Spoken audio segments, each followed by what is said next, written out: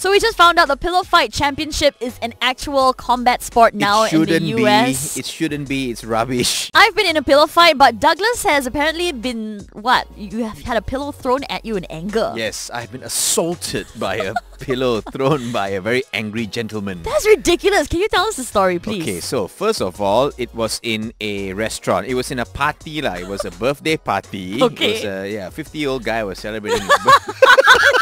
I haven't started the joke yet. What are you talking about? okay, okay, go. Okay, a 50-year-old A 50-year-old guy was celebrating his birthday party. His wife thought it would be fun to get him a stand-up comedian as his birthday present. Okay. Now, the theme of the party was pajama party. so there were all these 50-year-old people, couples, you know, Yeah. in their pajamas Right. with pillows, you know, all over the place, you know, to make it look like a giant bedroom. Yeah. This What- is how you know they work really hard because they're like, well, party means let's Yeah. wear our pajamas. wear our pajamas because we're so tired with life, you know.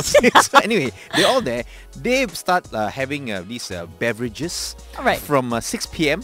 So they started quite early lah. Yeah. So they were nice and buzzing already by the time I came out. The problem was they are all good friends. They all know each other. So they had a lot of very interesting stories to tell each other. They were catching up. They were networking and so on and so forth. Yeah. Suddenly they got to stop, you know. They have to stop all festivities Yeah. because some Chinese comedian is going to go on stage and tell them jokes. They had no idea who I was.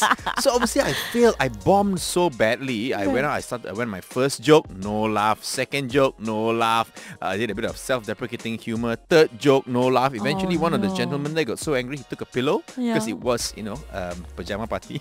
he took a pillow and he flung it at me. It was like, get off! 50 year old man threw yeah. a pillow at you. I think he hurt his back. The all new Fly FM. Now with the music you want all day.